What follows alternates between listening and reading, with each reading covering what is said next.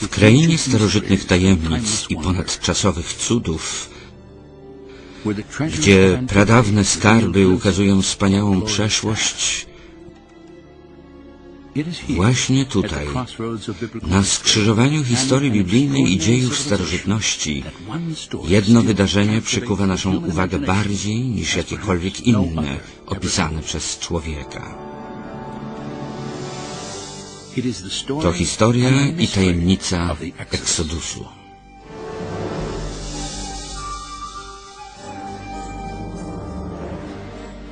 Historia Eksodusu przetrwała ponad 3000 lat, lecz jej wymowa, dramatyzm i tajemniczość są niepodważalne.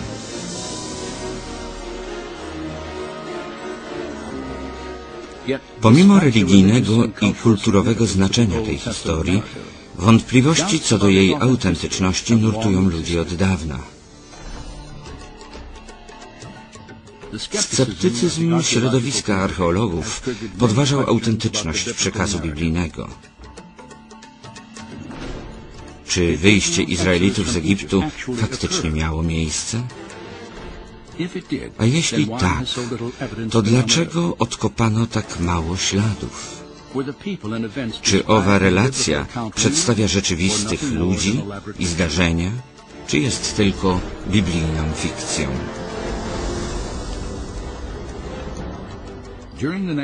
Przez najbliższą godzinę odbędziemy podróż, począwszy od delty Nilu do głębin Morza Czerwonego, zastanawiając się nad nowymi dowodami i odkryciami. W tej podróży będziemy badać i sprawdzać biblijny zapis. Bo jeśli opis biblijny zawiera historyczną prawdę, to powinny istnieć dowody pozostawione w wodzie i na piasku, potwierdzające eksodus Mojżesza i ludu izraelskiego.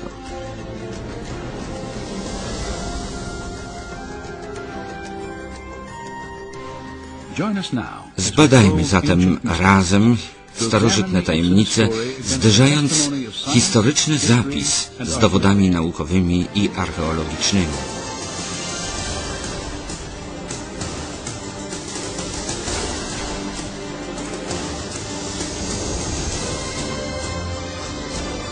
Eksodus ujawniony.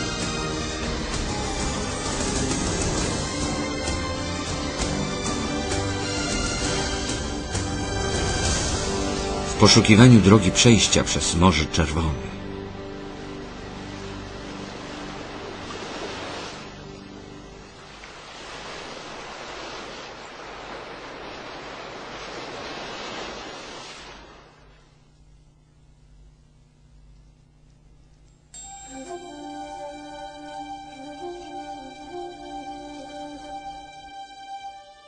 Then Pharaoh spoke to Joseph, saying, Faraon rzekł do Józefa, cały kraj egipski stoi przed Tobą otworem.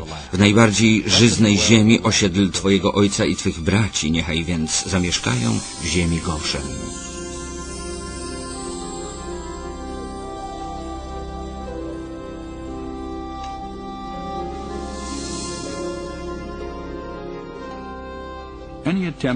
Każdą próbę oceny historycznej wiarygodności Eksodusu należy zacząć od ziemi Goszen w delcie Nilu, ponieważ według Biblii tam osiedlili się synowie Izraela.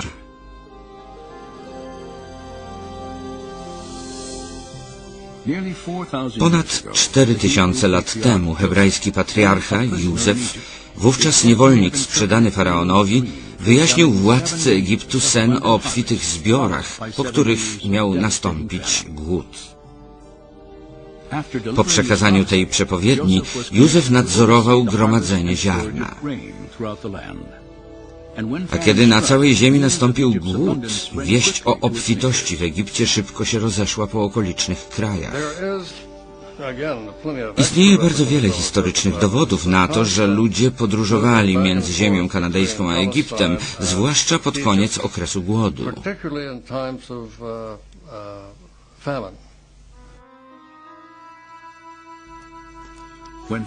Kiedy głód zapanował w Kanaanie, strach przed śmiercią głodową zmusił Jakuba oraz jego jedenastu synów, aby z żonami i dziećmi opuścili swoją ziemię i udali się w ponad 3000 kilometrową podróż.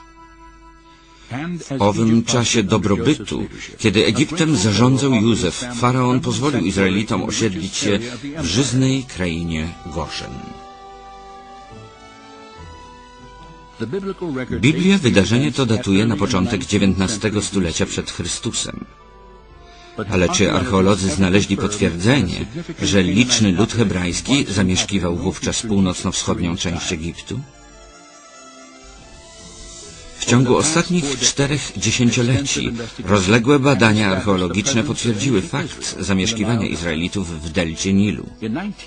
W roku 1966 w pobliżu miasteczka Kantir zespół austriackich archeologów pod kierunkiem doktora Manfreda Bittenga w miejscu zwanym Tel El Daba dokonał pierwszego z serii znaczących odkryć pozostałości osady, uważanej obecnie za najwcześniejszą izraelską siedzibę w Egipcie. Kopiąc na polach kukurydzy, zespół Bitenga dokonał kolejnego intrygującego odkrycia wioski na skrawku ziemi oznaczonym jako działka F.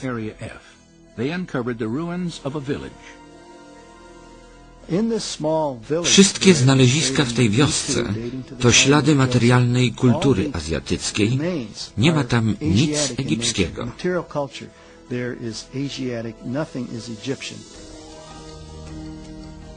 Mapa tego miejsca potwierdza jego wyraźnie izraelski charakter.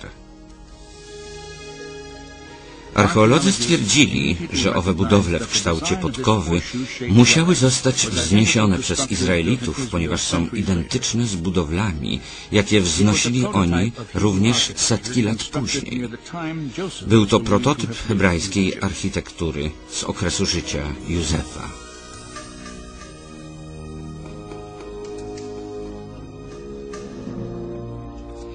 Potem umarł Józef, a synowie Izraela rozradzali się i pomnażali, tak, że cały kraj się nimi napełnił.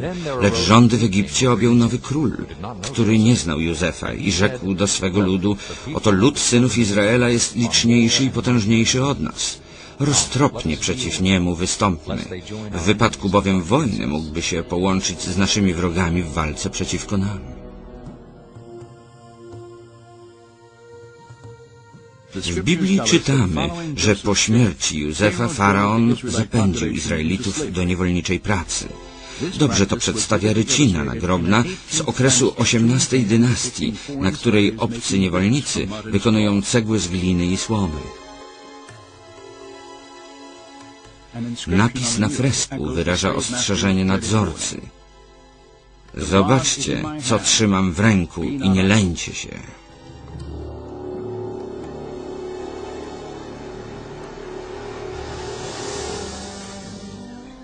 Nie ma więc żadnych wątpliwości, że liczna populacja izraelska przez kilkaset lat po śmierci Józefa zamieszkiwała Egipt. Jeśli jednak biblijna relacja o wyjściu ma być historycznie uzasadniona, potrzebne są dowody, że Izraelici dotarli do ziemi obiecanej gdzieś w okresie pomiędzy XIV a XII wiekiem przed Chrystusem. I dowody takie istnieją.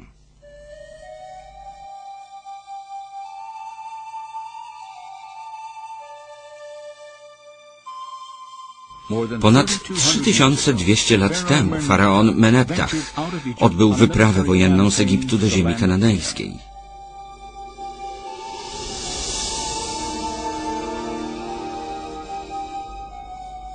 W późniejszym poemacie, sławiącym jego zwycięstwa, czytamy Izrael leży odłogiem. Napis ten pochodzi z 1210 roku przed Chrystusem. Izraelici dotarli i osiedli w Kanaanie na długo przed najazdem Meneptacha pod koniec XIII wieku. Dodatkowo w Tel El Amarna na terenie Egiptu archeolodzy odkryli szereg listów na glinianych tabliczkach. Autorami wielu z nich są władcy kananejscy żyjący na początku XIV wieku przed Chrystusem. Te listy zawierają rozpaczliwe błagania skierowane do faraona Echnatona, aby ochronił ziemię kananejską przed wędrownymi najeźdźcami. Faraon odpowiedział, że cały Kanaan zostanie stracony. Najeźdźców owych nazwano Abiru.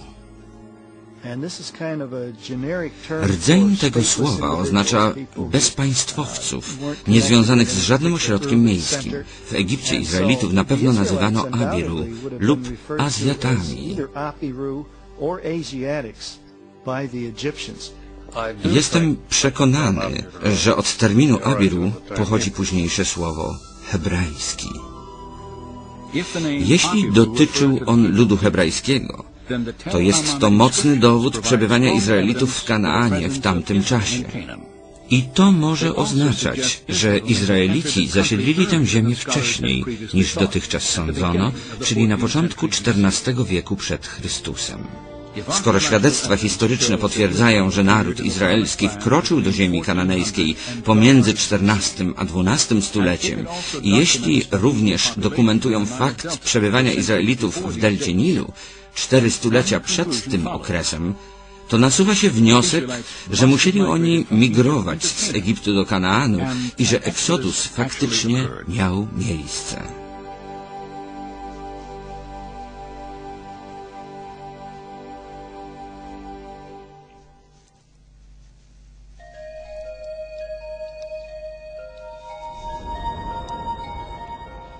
I Pan powiedział do Mojżesza, po wyprowadzeniu tego ludu z Egiptu oddacie cześć Bogu na tej górze.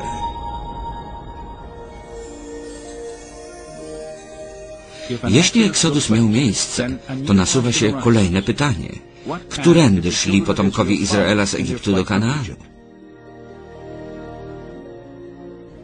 Każda próba sprawdzenia autentyczności zapisu biblijnego musi koncentrować się na trasie, jaką podaje sama Biblia.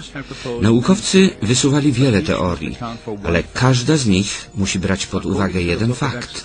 Zgodnie z Księgą Wyjścia, Izraelici po opuszczeniu ziemi Goszen najpierw skierowali się ku Świętej Górze, aby tam spotkać się z Bogiem i oddać Mu cześć.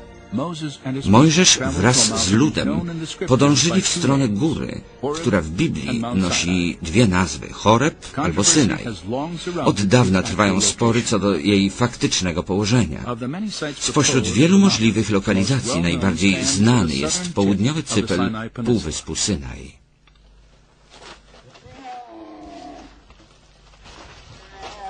Każdego ranka przez okrągły rok pielgrzymi z całego świata wspinają się na wierzchołek wznoszący się na wysokość ponad 2200 metrów, który powszechnie jest uznany za górę Synaj.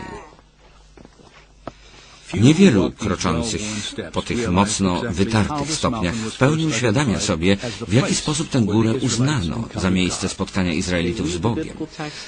Traktując tekst biblijny alegorycznie, wszędzie można doszukać się poszukiwanych symboli i wizerunków. Wysokie góry w okolicy Dżebe Musa mają wiele cech opisanej w Biblii góry Synaj. Przypuszczalnie jeszcze przed rokiem 350 niektórzy z tych zakonników stworzyli tradycję uznającą, że Dżebe Musa, Dżebe Katrina czy jakaś inna góra na półwyspie Synaj była tą, na którą wstąpił Mojżesz. W IV wieku pielgrzymki chrześcijan do tego miejsca stały się powszechne. Obecnie u podnóża tego tradycyjnego wzniesienia stoi kaplica i klasztor.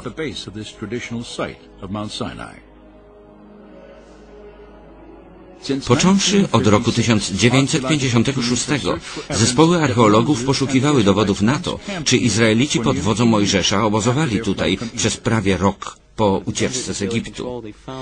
Kiedy Półwysep był pod władzą izraelską, poszukiwania śladów historycznych nie dały żadnych efektów. Spośród ośmiu tysięcy inskrypcji odkrytych w południowej części Półwyspu Synaj, jedynie kilka było sporządzonych w języku hebrajskim.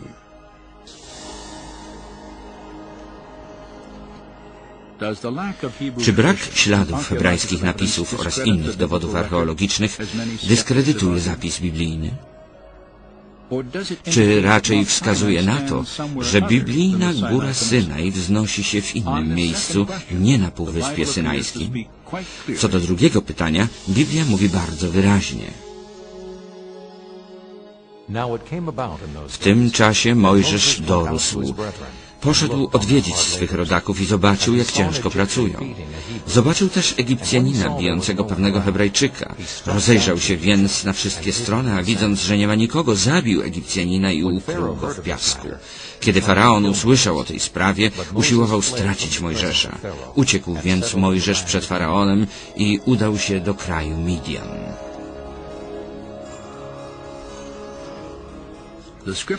Biblia podaje, że 40 lat przed Eksodusem Mojżesz uciekł od faraona, kierując się na wschód do Midian, na tereny leżące obecnie w granicach Arabii Saudyjskiej. Decyzja Mojżesza, aby się schronić w Midian, mogła wynikać z faktu, iż na całym półwyspie Synaj stacjonowały wojska egipskie. To wątpliwe, by Mojżesz uciekając skierował się na południe półwyspu Synaj, gdzie łatwo mogli go schwytać egipscy żołnierze. Szanse znalezienia schronienia w Midian były o wiele większe.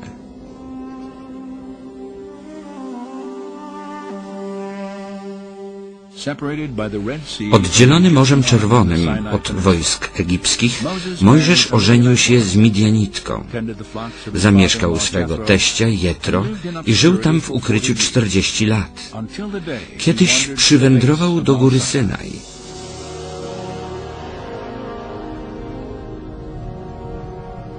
Tam Bóg przemówił do niego z płonącego krzaka, by uwolnił Izrael z niewoli. Na podstawie tego przekazu biblijnego niektórzy uważają, że góra Synaj musi znajdować się w Midian. Ale czy są jeszcze inne dowody na potwierdzenie tej teorii? Istnieją hebrajskie dokumenty pisane 600 lat przed chrześcijaństwem, które umiejscawiają Górę Bożą na terytorium Midianitów.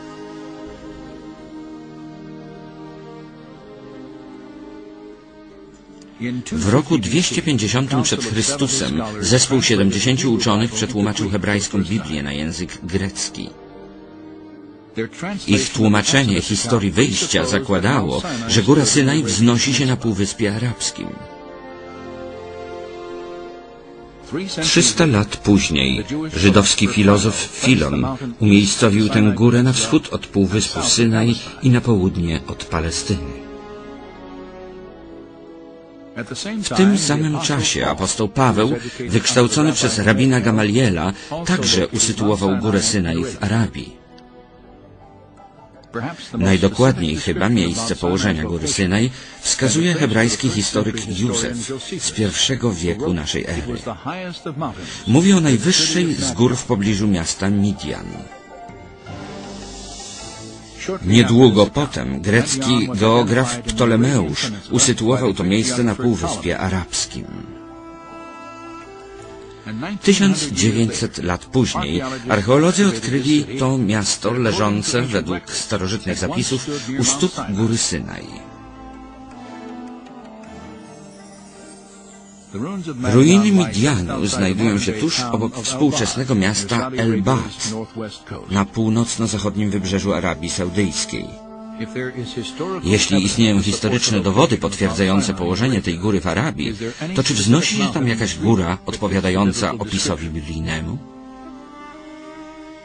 25 kilometrów na wschód od arabskiego miasta El-Bat znajduje się taka góra.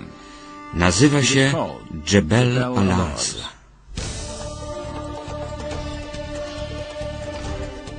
Zawsze interesowały mnie odkrycia archeologiczne potwierdzające prawdę biblijną. Zawsze chciałam przyjechać tutaj do Arabii Saudyjskiej i zobaczyć to na własne oczy, żeby mieć pewność dla samej siebie.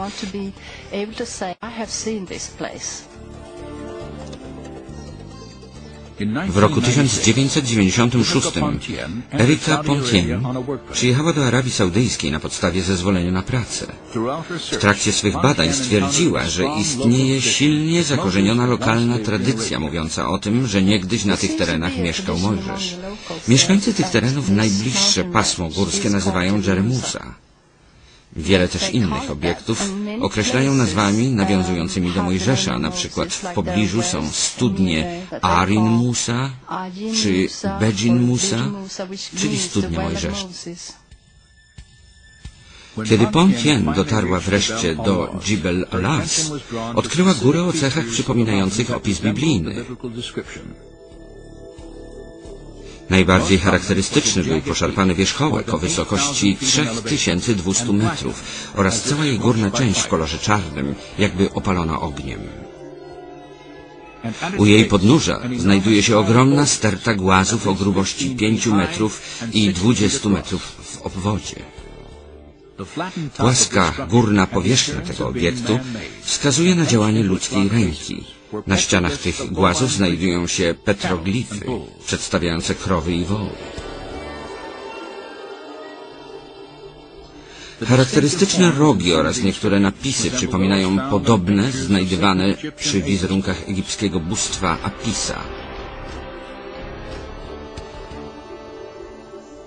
Czy te głazy są pozostałością ołtarza wzniesionego przez Izraelitów u podnóża Świętej Góry? Dokładniejsze badania nie są obecnie możliwe, gdyż saudyjskie prawo zabrania prowadzenia badań przez archeologów z zagranicy. Zdjęcie satelitarne tego terenu wyjawia kolejną cechę zgodną z relacją biblijną. Ogromna płaska równina o powierzchni 4000 hektarów, otoczona wysokimi górami, stykająca się z wyschniętym korytem starożytnej rzeki. Było to idealne miejsce do rozbicia obozu przez Izraelitów 3,5 tysiąca lat temu.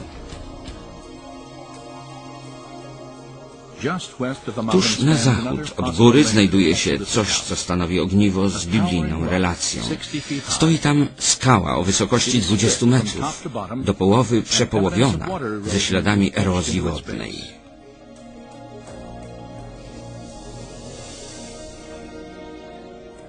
Wiele cech Jibel Alas zgadza się z opisem biblijnym góry Synaj. Ta najwyższa góra na północnym zachodzie Arabii pasuje do starożydowskich przekazów historycznych. Niezależnie od tego, czy przyszłe wykopaliska potwierdzą, iż jest to góra Boża, to istnieje wystarczająco dużo dowodów na to, że góra Synaj znajduje się w tej części Półwyspu Arabskiego.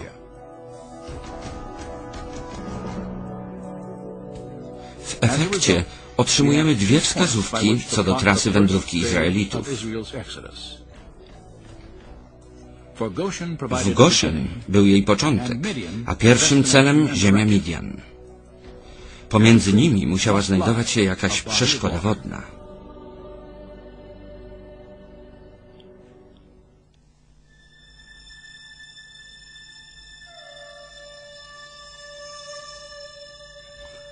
Ty zaś podnieś swą laskę i wyciągnij rękę nad morze i rozdziel je na dwoje, a wejdą synowie Izraela w środek, na suchą ziemię.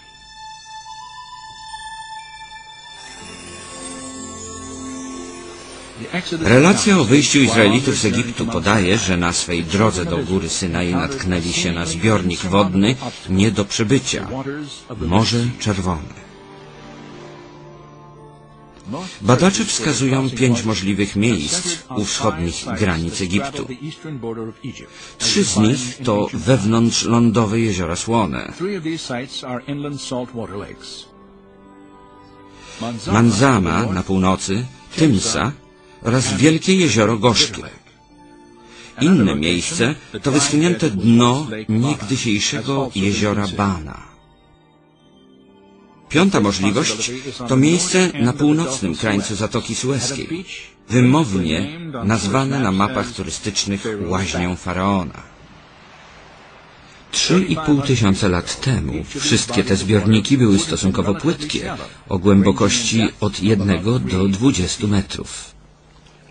Brak jest przekonujących dowodów na to, że Izraelici przechodzili przez któryś z tych zbiorników wodnych. Także ich cechy geograficzne nie przypominają biblijnego opisu plaży, na której faraon zagroził Mojżeszowi i jego ludziom.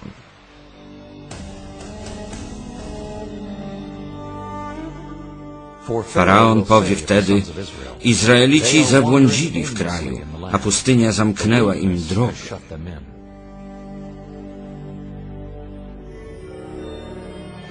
Kiedy Izraelici zbliżali się do Morza Czerwonego, Faraon się dowiedział, że znaleźli się na surowej pustyni, pośród gór i wąwozów. Biblia mówi, że tuż przed przejściem przez Morze Czerwone zgromadzili się na wybrzeżu, gdzieś przy wschodniej granicy Egiptu. Księga Wyjścia kilkakrotnie stwierdza, że zatrzymali się na postój poza Egiptem. I tu napotykamy na sprzeczność pomiędzy tekstem biblijnym i powszechną jego interpretacją. Czyż nie Ty osuszyłeś morze, wody wielkiej otchłani, uczyniłeś drogą z dna morskiego?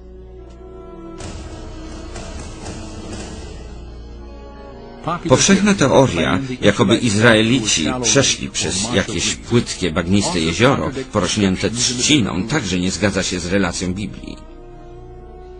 Hebrajscy autorzy nazywają miejsce przejścia Izraelitów ogromną głębią, potężnymi wodami i głębinami morskimi.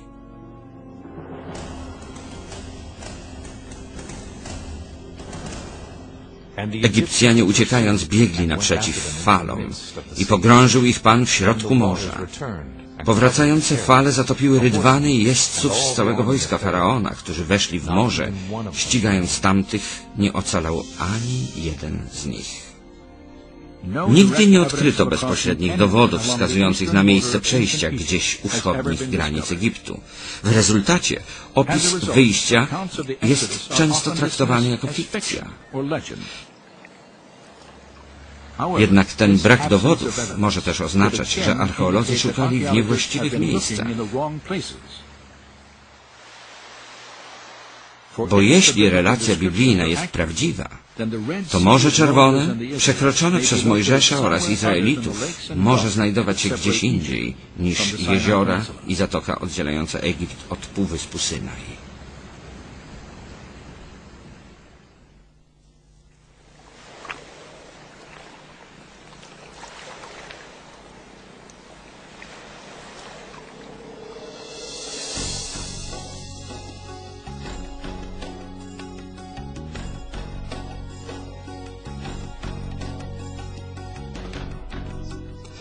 Jako naukowiec staram się analizować sprawy i docierać do ich korzeni.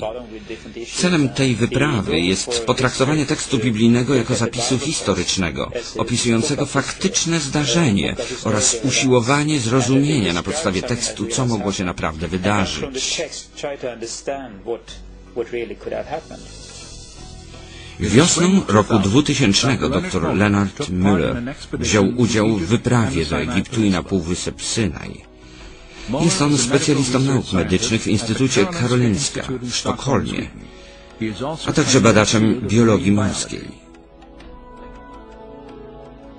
Jego umiejętności i dociekliwość połączone z zainteresowaniem archeologią biblijną wielokrotnie prowadziły go na Bliski Wschód. Teraz, jako członek zespołu międzynarodowego pod auspicjami Discovery Media Productions, przybył do Zatoki Akaba, aby nadal szukać dowodów wędrówki Izraela z Egiptu. Müller przez wiele lat studiował dowody historyczne i naukowe co do faktycznego położenia góry Synaj. Aby dotrzeć do Góry Bożej, Izraelici musieli najpierw przebyć zbiornik wodny na wschód od ówczesnych egipskich granic.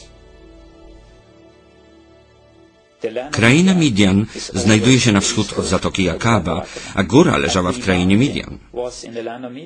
To tam Mojżesz widział płonący krzak. Jeśli zatem góra wznosi się na wschodnim wybrzeżu Zatoki Akaba i jeżeli wydarzenia te rozegrały się właśnie tam, Izraelici musieli w jakimś miejscu przebyć wody tej zatoki. Dlatego Akaba bardzo mnie zainteresowała. Ta prawa odnoga Morza Czerwonego oddziela Półwysep Synaj od Półwyspu Arabskiego. Zgodnie z tekstem hebrajskim, właśnie tam, do Jansów, przybijały duże statki morskie. Kiedy czytamy o Morzu Czerwonym, najpewniej chodzi o Zatokę Akaba. Nazwa Jamsuf oznacza Morze Czerwone. Wiemy, że w Jamsuf stacjonowała flota króla Salomona.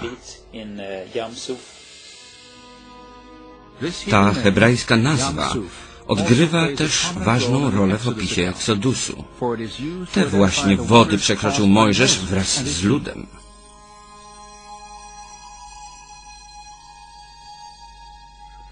Geograficzne cechy Zatoki Akaba również odpowiadają biblijnemu opisowi Jamsuf, miejsca przejścia przez morze. Akaba jest niesamowicie głęboka, w niektórych miejscach aż do półtora kilometra. Leży ona u stóp stromych gór. Leży tuż za wschodnią granicą Egiptu z czasów Mojżesza.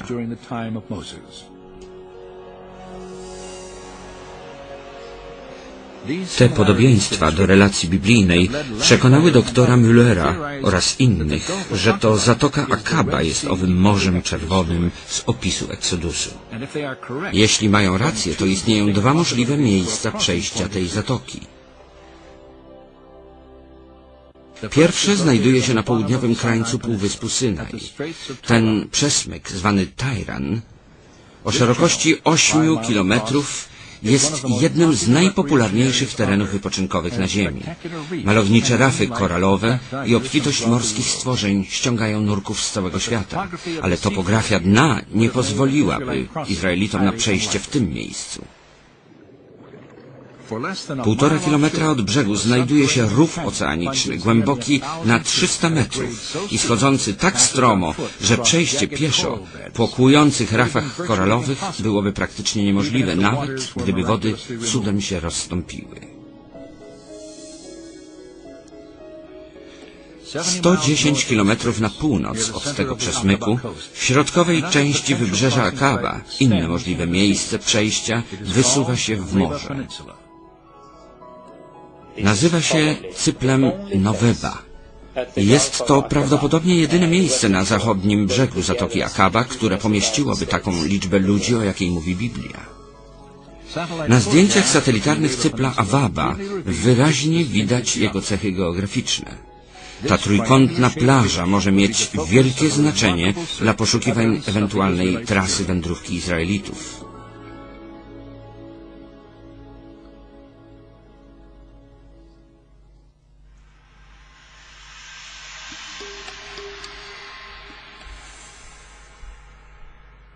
Gdy Faraon uwolnił lud, nie wiódł go Bóg drogą prowadzącą do ziemi filistyńskiej. Powiedział bowiem Bóg, żeby lud na widok czekających go walk nie żałował i nie wrócił do Egiptu. Bóg więc prowadził lud okrężną drogą pustynną ku Morzu Czerwonemu.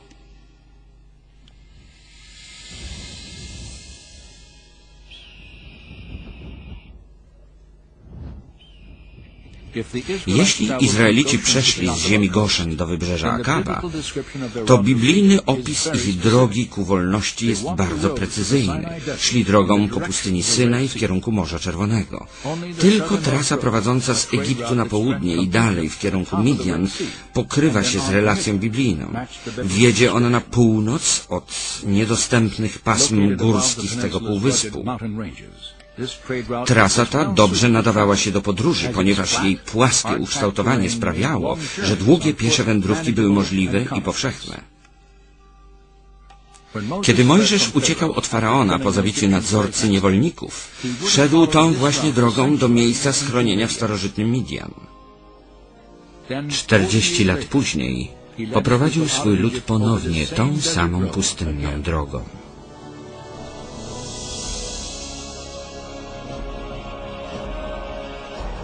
A Pan szedł przed nimi podczas dnia jako słup obłoku, by ich prowadzić drogą. Podczas nocy zaś jako słup ognia, aby im świecić, żeby mogli iść we dnie i w nocy. Korzystając z nocnego chłodu, Izraelici mogli przejść Półwysep Synaj w ciągu trzech tygodni, co potwierdza tekst biblijny.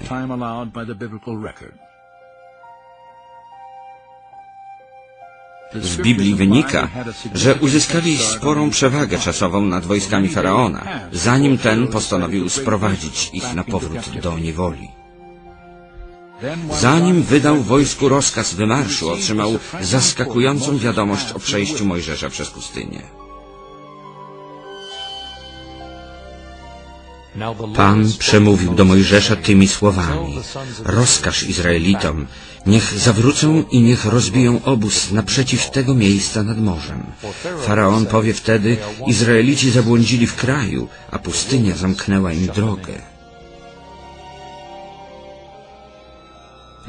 To zdjęcie satelitarne przedstawia niespodziewaną zmianę trasy Izraelitów. Wkroczyli w labirynt krętych koryt wyschłych rzek, wijących się w kierunku wybrzeża. I w tym wąwozie, zwanym Wadi Watir, Mojżesz wraz z ludem został zamknięty pomiędzy ścianami skalnymi.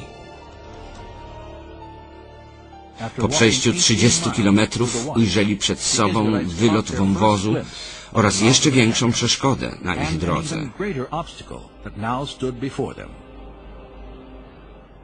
Po wyjściu z Wadi Watir, Mojżesz zgromadził lud w miejscu zwanym Pi Hahirot, którego lokalizacja pozostaje dyskusyjna. Sama nazwa może sugerować położenie obozu Izraelitów. Znaczy bowiem wylot wąwozów. Jest to trafne określenie tej plaży ukształtowanej z piasku i kamyków pochodzących z erozji skał wąwozu. Stąd, jak czytamy, lud pod wodzą Mojżesza nie mógł iść dalej.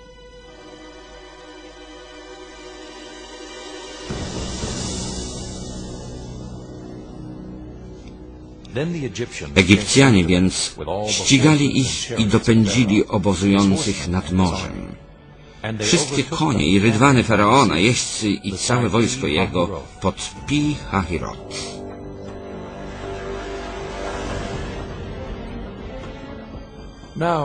Kiedy Egipcjanie dopadli Hebrajczyków, obsadzili wojskiem przejścia, którymi mogliby uciec, zamykając ich pomiędzy niedostępnymi urwiskami a morzem. Po obu stronach mieli strome góry, które schodziły do samego morza, zamykając im drogę ucieczki.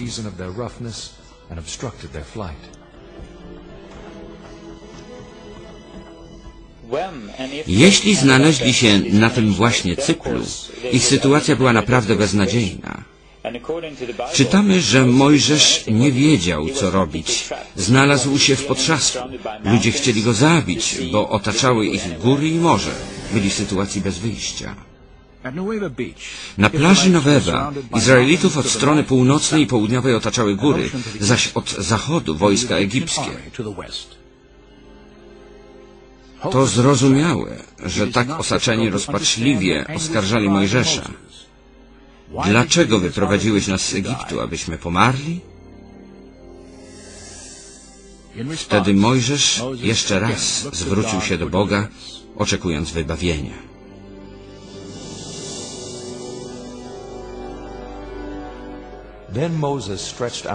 Mojżesz wyciągnął rękę nad morze, a Pan cofnął wody i uczynił morze suchą ziemią. so the waters were divided. W całej Biblii nie ma chyba bardziej dramatycznej sceny.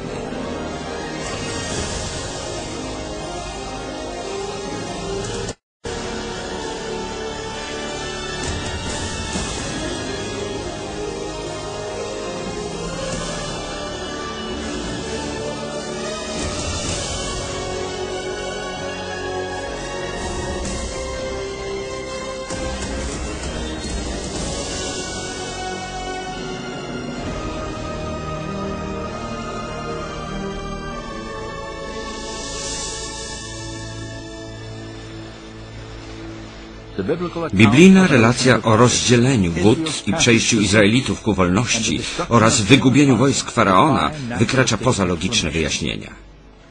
Jeżeli te wydarzenia faktycznie miały miejsce, to dowody rzeczowe powinny nadal leżeć na dnie zatoki.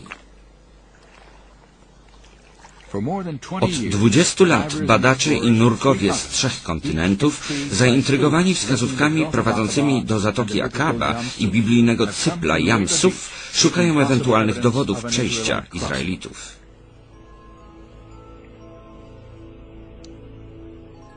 W swoich badaniach skupili się na 600 rydwanach, które według Biblii zniszczone legły na dnie zatoki.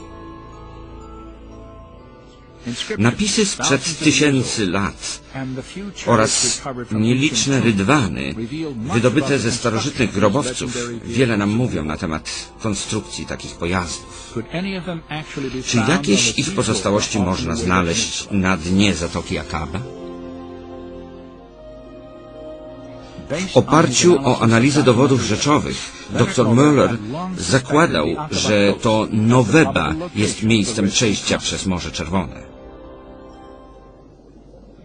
Podobnie jak inni, którzy badali tę zatokę przed nim, nie przewidział trudności z tym związanych. Chociaż rafa koralowa utrudnia poszukiwania, mogła się przyczynić do zachowania kształtu starożytnych przedmiotów. Koral to żywy organizm, który nie rozwija się ani na piasku, ani na mule. Musi przywrzeć do czegoś trwałego i często zachowuje kształt owej bazy.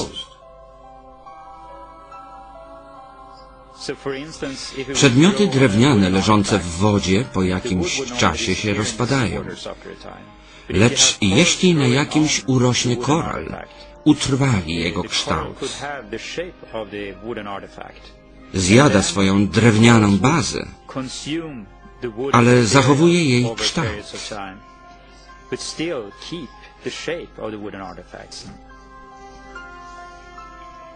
W swoich badaniach Müller zauważył, że koralowce przy cyplu Noweba mają inny kształt niż te na północ i na południe od tego miejsca, gdzie tworzą plątaninę często pokrywającą wiele hektarów dna. Tutaj formacje te są o wiele mniejsze i porozrzucane jakby przypadkowo na dnie morza.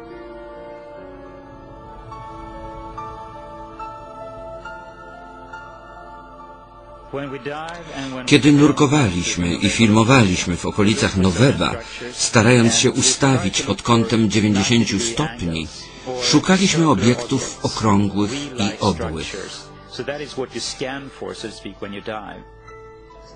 Od pierwszych prób poszukiwań przy cyplu Noweba często na dnie morza dostrzegano jedną formację o charakterystycznym kształcie.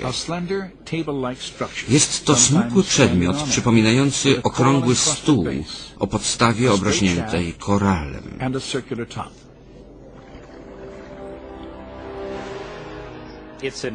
Tutaj mamy właściwy kąt 90 stopni.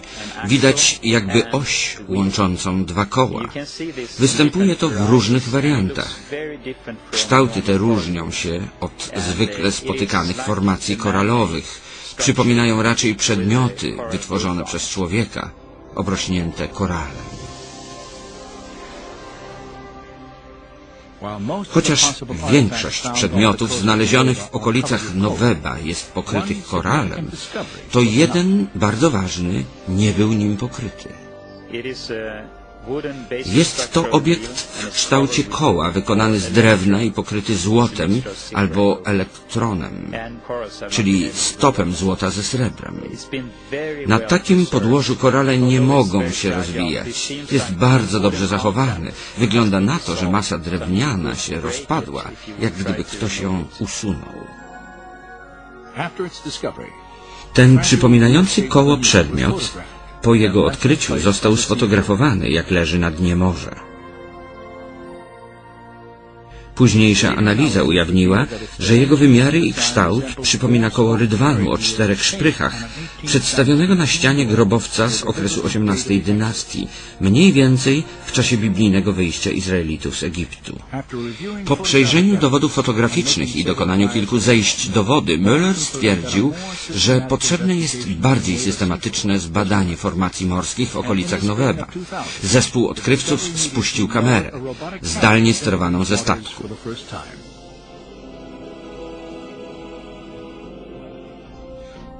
Posuwała się po dnie morza, przekazując obraz wideo, który można było przestudiować i ocenić. Kamerę spuściliśmy na 80, 80-90 metrów, aby sięgnąć głębiej niż jest to możliwe podczas nurkowania. Obrazy z kamery ujawniły wiele kształtów i obiektów znanych już Müllerowi jako formacje koralowe zagięte pod kątem prostym, z dyskami i prostymi prętami, pomiędzy mnóstwem innych powyginanych przedmiotów wyglądających na wraki. Kierując automatyczną kamerą w różne strony, zauważyliśmy, że owe dziwne kształty, jakich szukaliśmy, występują nie tylko w jednym miejscu. Widać je wszędzie.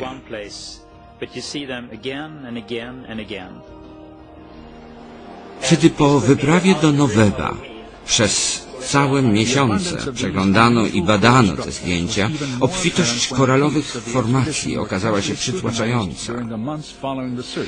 Kamera zarejestrowała na wideo wiele godzin dokumentacji. W tym samym czasie na innym statku Erika Pontien wraz z pomocnikami przy użyciu wykrywacza metalu badała obiekty leżące na dnie morza, by oceniać te niepospolite struktury. Pontien i jej koledzy zauważyli, że koła wielu egipskich rydwanów były wzmocnione brązem. Znaleźli bowiem ślady metalu porośniętego koralem. Zdjęcia wskazywały na okrągły metalowy przedmiot otoczony koralem. Być może są to pozostałości oderwanych obręczy kół rydwanów. Inne badane formacje koralowe także zawierały szczątki metalu. Zainteresowanie Eriki Pontien tym odkryciem wzmogło się, kiedy porównała je z innym dokonanym trzy lata wcześniej, 13 kilometrów na wschód od Cypla Noweba.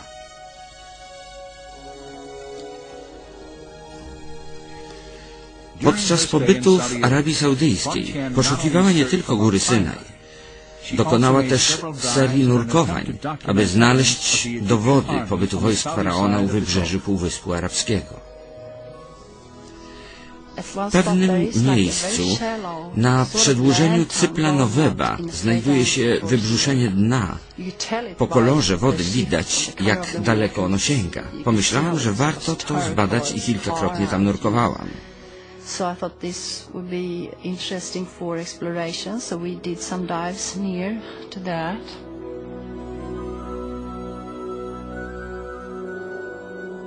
Porozrzucane formacje koralowe po saudyjskiej stronie Zatyki Akaba przypominały te znalezione w okolicy Cypla Noweta.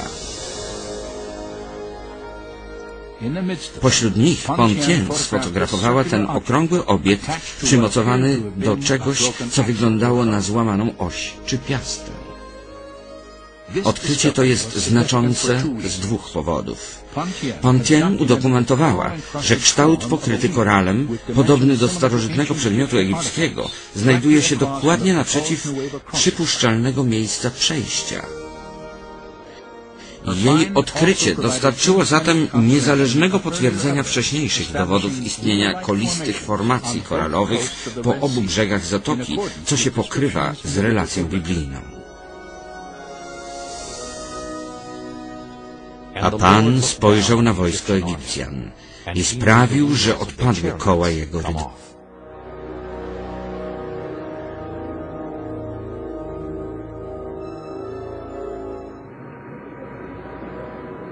Chociaż nie można określić ich wieku, z uwagi na egipskie przepisy ekologiczne, które nie pozwalają na wydobycie owych formacji koralowych dla celów badawczych, to stanowią one łącznik z okresem wyjścia z Egiptu.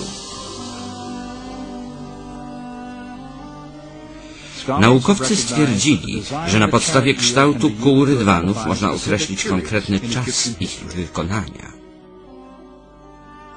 W Zatoce Akaba odkryto pozostałości kół o czterech i sześciu szprychach.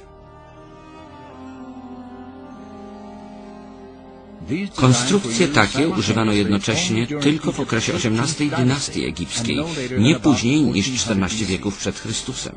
Jest to wyraźnie zbieżne z okresem wyjścia podanym przez Biblię.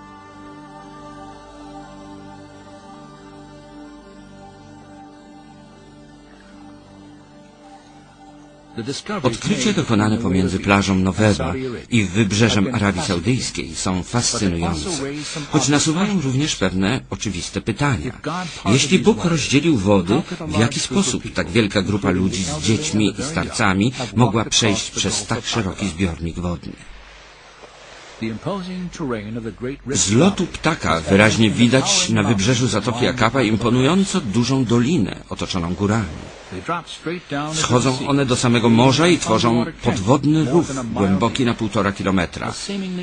Pozornie jest to przeszkoda nie do przebycia, nawet po usunięciu wody.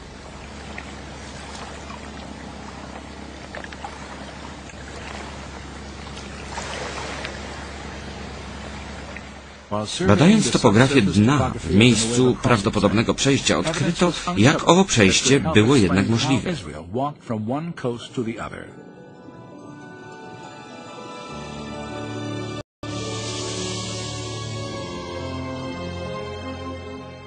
W najgłębszym miejscu Zatoka Akaba sięga ponad półtora kilometra, jednak przy cyplu Noweba dno podnosi się o ponad kilometr, tworząc szeroki i płaski teren, po którym Izraelici mogli przejść, kiedy wody zostały rozdzielone.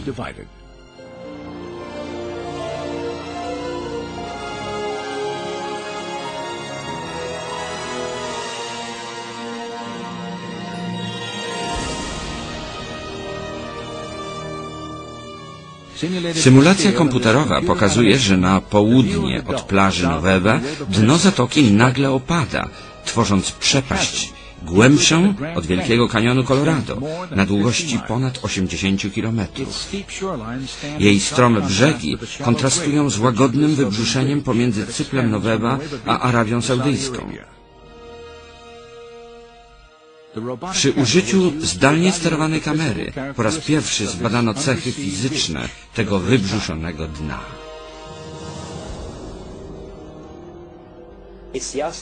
Jest po prostu niesamowicie płaskie. Nie ma tam żadnych koralowców i skał. Badaliśmy spory obszar Zatoki Akaba i wszędzie dno było płaskie. Ciekawe, że dno nie jest pokryte mułem, tak jak w Zatoce Sueskiej. Jest to cienka warstwa piasku lub żwiru, po której łatwo przejść po usunięciu wody.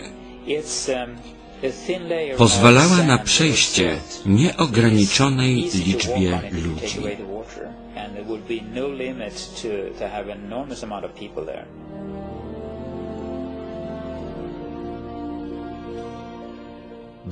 Tak mówi Pan, który toruje drogę przez morze i ścieżkę przez potężne wody.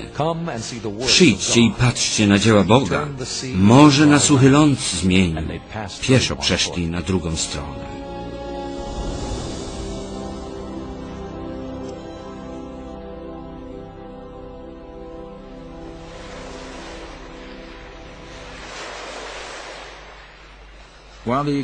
Podczas gdy istnienie wybruszenia dna od Cypla Noweba po Arabię Saudyjską pozwala zrozumieć, że przejście Izraelitów przez Zatokę Akaba było możliwe, nie wyjaśnia to faktu rozdzielenia wód podanego w relacji biblijnej.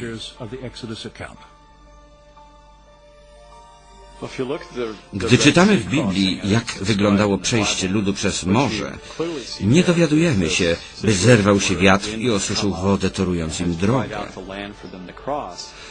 Czytamy natomiast, że kiedy Izraelici przechodzili po obu stronach stanęły ściany wody.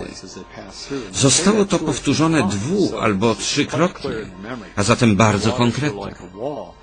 W pamięci mamy obraz wodnego muru po prawej i po lewej stronie. Nie znajdujemy żadnego naturalnego wyjaśnienia tego zjawiska. Dla tych, którzy przyjmują tezę, że Bóg uczynił cud rozdzielając wody Zatoki Akaba, brak naukowego wyjaśnienia nie stanowi większej trudności. Naukowcy natomiast utrzymują, że cuda nie mogą się dziać wbrew prawom natury. W związku z tym każdy dokument mówiący o cudownym zdarzeniu musi być niespolegliwy. Takie rozumowanie, chociaż szeroko rozpowszechnione, spotyka się jednak z oporem. C.S. Lewis uważał, że cuda są dziełami Boga a zatem czymś zupełnie możliwym, skoro ich sprawcą jest Bóg. Jeśli założyć, że Bóg nie istnieje, to oczywiście cuda nie są możliwe. Lecz jeżeli Bóg istnieje, cuda mogą się zdarzać. Kiedy rozpatrujemy wydarzenia opisane w Biblii, musimy spojrzeć na dane i zadać sobie pytanie, czy są one na tyle przekonujące, że cud faktycznie mógł się wydarzyć. Jeśli na dowody patrzymy obiektywnie, a one wskazują na coś cudownego, to musimy być otwarci na zaakceptowanie tego. Po ponad stu latach badań, dokąd nas prowadzi zgromadzony materiał dowodowy dotyczący Eksodusu?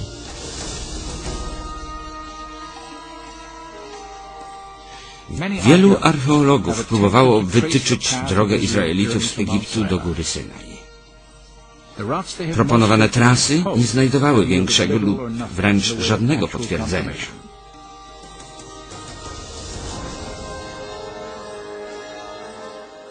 Jednak dzisiejsza teoria, wytyczająca możliwą trasę wędrówki Izraelitów całkowicie odmienną od przyjmowanej tradycyjnie, prowadzi nas do bezpośrednich dowodów posiadających zarówno cudowną, jak i historyczną wagę.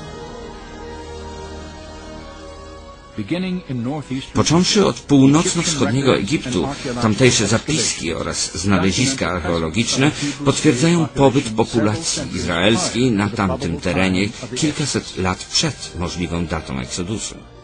Dowody wskazują też, iż później, po stuleciach niewoli, Izrael pojawił się w Kanaanie, ziemi obiecanej. Dokumenty historyczne oraz mocne dowody archeologiczne sytuują Bożą Górę w północno-zachodniej Arabii, w biblijnej krainie Midianitów.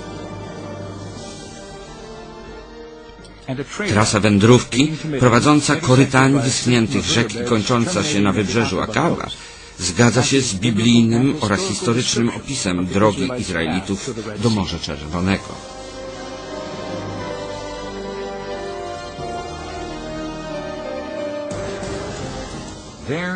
Zaś w wodach przy cyplu Noweba leżą przedmioty przypominające koła rydwanów z okresu XVIII dynastii.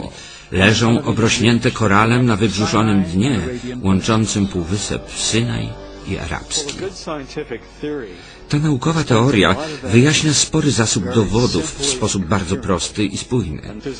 Dowody te wskazują na pewien wzór, który sugeruje, iż zapis biblijny posiada o wiele większą wagę historyczną, niż naukowcy byli gotowi dotychczas zaakceptować.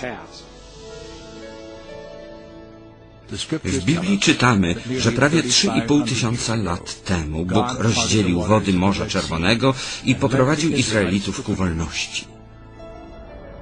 Czy to zdarzyło się tutaj? Czy w ogóle się wydarzyło? Czy biblijna relacja jest rzeczywiście dokładna? Tak jak w przypadku wszystkich badań historycznych nie będziemy mieć absolutnej pewności. Zatem akceptacja opisu z Księgi Wyjścia zawsze będzie wymagać jakiejś dozy wiary. Ale fakty i wiara nie muszą się kłócić, jak sugerują niedawne odkrycia. Historia i archeologia dają nam teraz przekonujące powody do tego, by na nowo rozważyć niewiarygodne twierdzenia zawarte w opisie Eksodusu.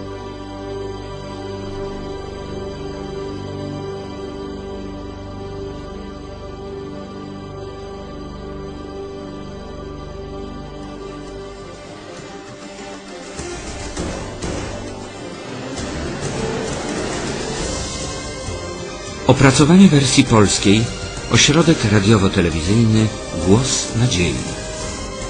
Tekst polski Ryszard i Renata Pruszkowscy. Czytał Roman Haluch